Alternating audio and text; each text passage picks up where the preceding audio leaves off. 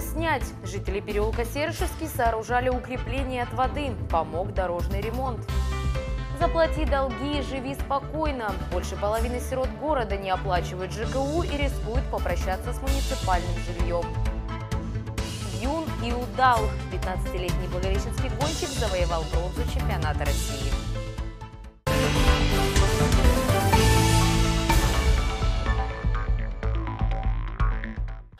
Об этом и многом другом расскажем прямо сейчас в студии Кристина Добровольская. Здравствуйте.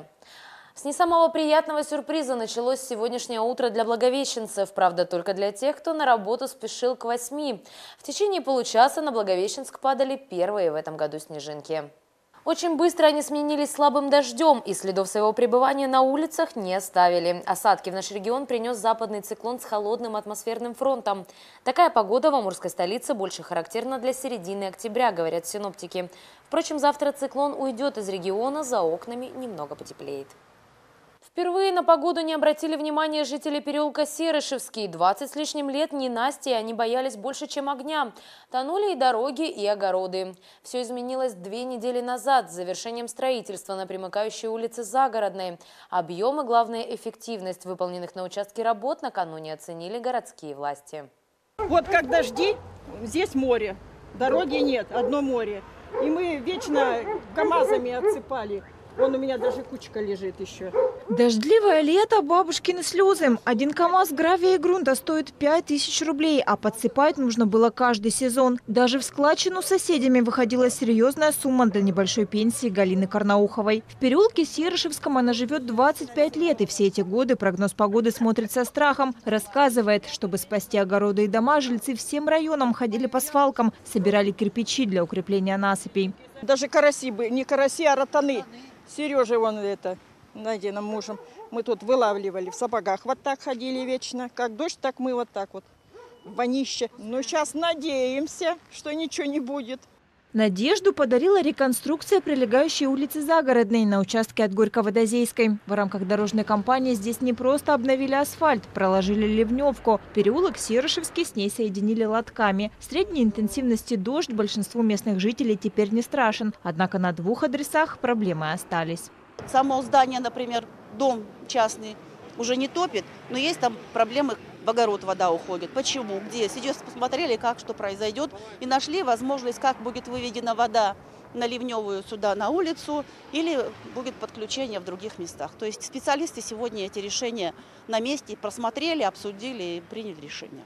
Теперь горожане мечтают о благоустройстве. Тротуарная плитка вдоль загородной появится в следующем году, пообещала Валентина Калита. А если позволят средства, то будет она и в переулке Серышевском. Мария Селезнева, Денис Лугов. Программа «Город». И к другим темам. Благовещенцы не останутся без самолетов в Москву. 6 октября уральские авиалинии увеличат частоту рейсов в столицу с 4 до 6 в неделю, а с 17 числа и вовсе сделают их ежедневными.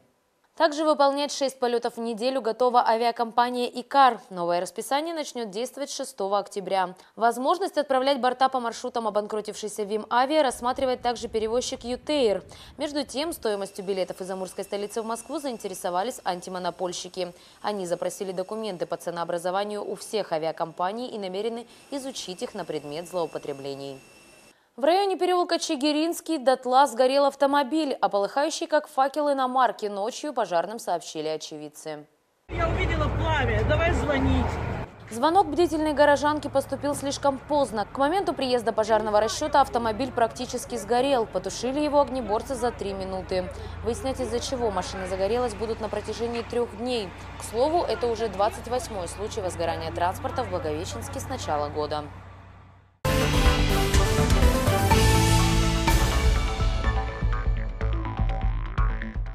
Инвалидам первой и второй групп, страдающим от тяжелых хронических недугов, помогут обзавестись собственной крышей над головой. Накануне депутаты Законодательного собрания области проголосовали за выделение им субсидий на строительство или покупку жилья в первом чтении.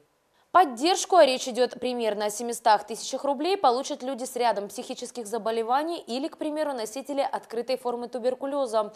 То есть те, чье совместное проживание со здоровыми родственниками в одной квартире нежелательно.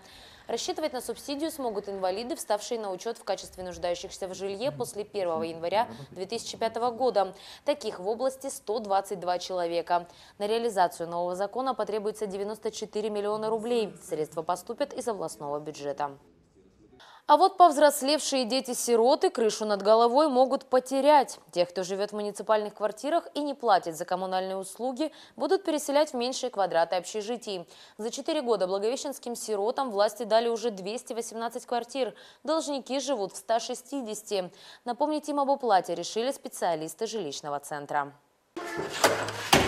Значит, у вас числится долг в размере 51 960 рублей. Мы вам вручаем уведомление о необходимости погасить задолженность. Погасить долг 23-летней жительнице одной из квартир дома на Муравьева-Амурского 26 нужно за 15 дней. А копила его девушка почти год, с того самого момента, как заселилась сюда с двумя детьми. Визиту специалистов жилищного центра не удивилась и без них о долгах помнит. Просто как бы я от мужа ушла и не могу пока в данный момент платить. Но я постараюсь сейчас выплачивать, потому что как бы выходить буду на работу, буду выплачивать потихонечку. Здравствуйте. Здрасте. Еще одна жительница дома гостей не ждала. Рассказывает, в квартиру по соцнайму не заселялась, мол, просто ее сняла. Правда, сразу, как проверяющие выдали предписание съехать, версия изменилась. 20-летняя женщина оказалась ночевала у подруги. Ну, как бы она вообще здесь находится. Она просто к сестре уехала. То есть она здесь живет, Да, а вы у нее как в гостях. да.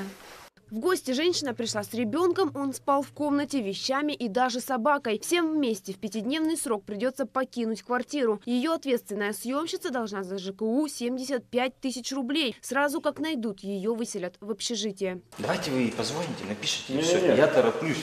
23-летний парень тоже квартиру просто снял и о долге в 60 тысяч рублей, конечно же, не слышал. Ответственную за жилье женщину видел дважды в жизни. Но если бы была задолженность, думаете, я бы заехал сюда?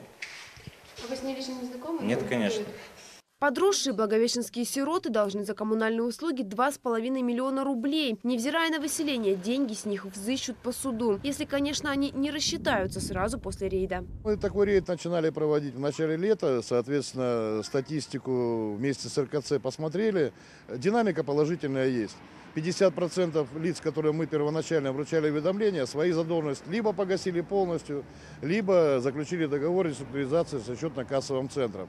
В этот раз комиссия обошла 24 квартиры в 800-м квартале. На следующей неделе посетит дома Белогорья и Маховой Пади.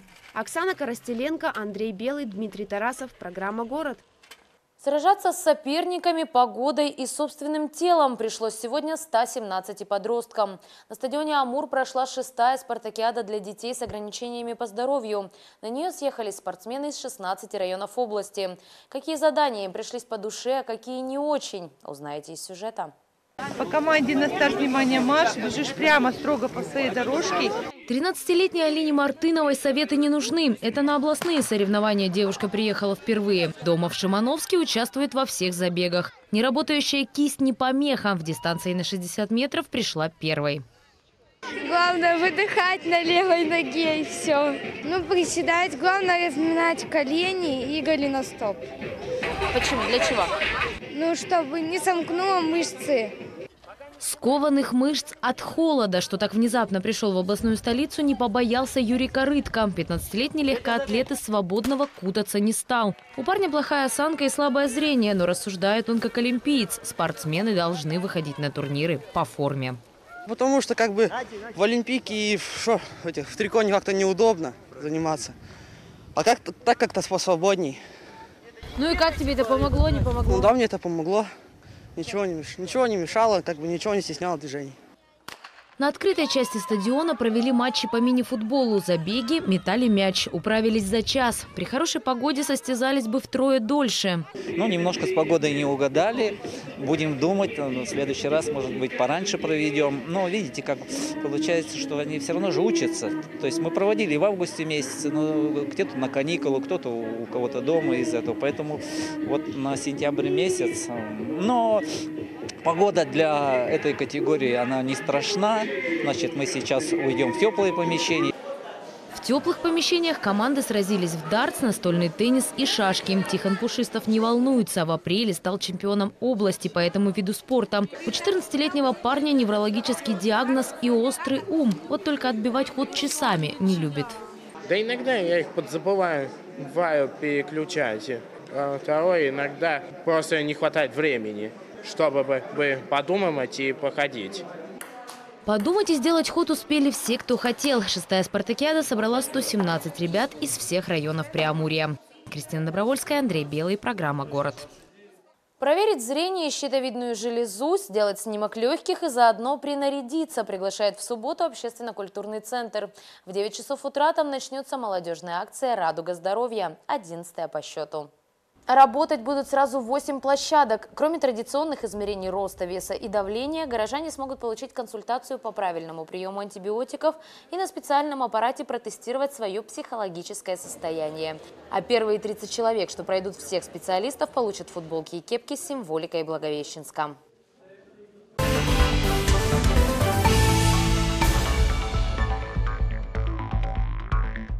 Посмотреть на породистых мурлык и наесться до отвала смогут благовещенцы в эти выходные. Куда можно будет сходить, расскажем в анонсе. В 10 утра субботы в областной библиотеке откроется выставка кошек, которая будет идти целых два дня. В это же время на стадионе «Амур» стартует личное первенство по городошному спорту, а в областной дю США чемпионат по русским шашкам. Все выходные туристы будут преодолевать пешие дистанции. На турбазе Мухинская их ждут к 11 утра. Для маленьких горожан в это время в Театре кукол дадут спектакль «Приключения в стране Мираликундии». В час дня власти торжественно откроют велодорожку вдоль старого Новотроицкого шоссе. В 15.00 на набережной горожанам презентуют детскую площадку. В воскресенье 1 октября в 11 утра в Театре кукол снова премьера «Белоснежка и Краснозорька». Любителей поесть и попробовать новое ждут в полдень на площади Ленина. Там пройдет фестиваль еды «Большая ложка». В честь Дня пожилого человека творческие коллективы устроят праздничный концерт. Желающие оценить их номера могут прийти в городской дом культуры в 3 часа дня. 15-летний благовещенец занял третье место на чемпионате России по мотокроссу. Благодаря успешному выступлению в Пензе Денис Дмитриев попал в состав сборной России. На Дальнем Востоке таких высот не достигал никто. Чемпион уже вернулся домой, чтобы отдохнуть от соревнований. Но на диване бока не пролеживает. Смотрите сами.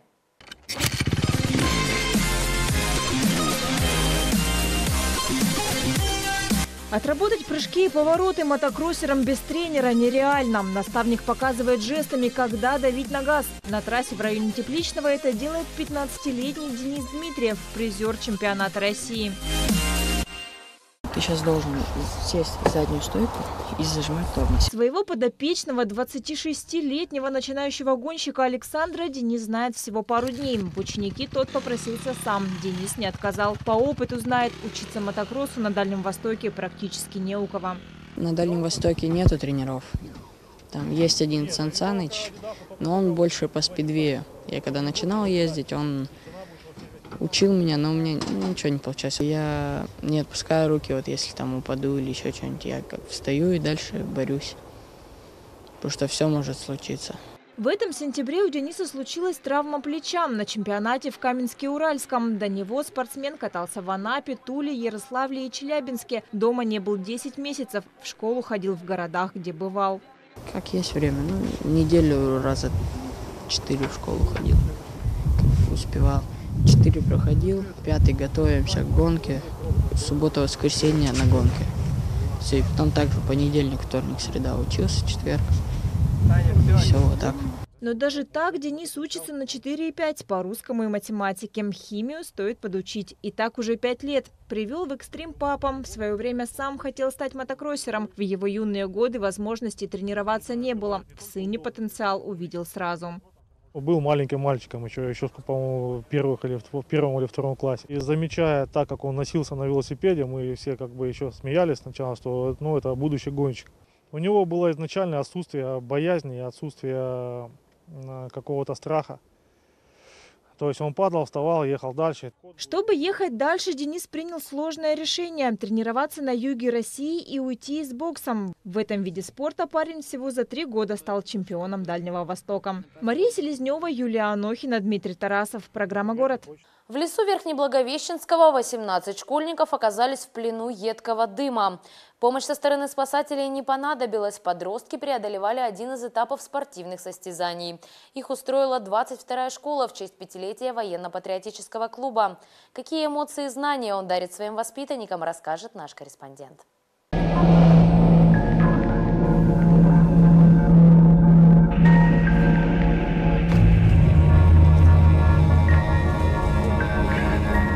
Настоящая зона отчуждения. Выбраться из нее за считанные секунды обязан каждый. Иначе нет ни гибель, проигрыш. К нему команда пятой школы «Тайфун-2» не готова. 13-летняя Оксана в том числе, но в этом упражнении от нее ничего не зависит. Она в роли пострадавшей, которую спасают от дыма. Я не вижу ничего. Ну, ничего страшного. Видеть Оксане не обязательно. В безопасную зону ее донесут на руках. Это последний рубеж эстафеты на время. Закончила его команда с ошибкой. Это был в первый раз, когда вот на меня вот это все одевали. Все быстрее, быстрее, быстрее. Вот этот дым, который был, попадал в рот, и в глаза, во рту он ожег чуть-чуть. Меня понесли, забыли положить на носилки вот на эти. Ну, донесли. На полосе препятствий три команды прыгали, бегали, ползали, преодолевали веревочные дороги, кидали гранаты. Восемь упражнений прошли минут за семь, при норме в 10. Остальные пять упражнений на результат. Стреляли из лука, духового ружья, пневматики, метали не только дротики, но и ножи. Этим ребята занимаются регулярно в своих военно-патриотических клубах. Там же осваивают парашютный спорт. В этом году прыжки запомнились особо, случаем с одной из воспитанниц.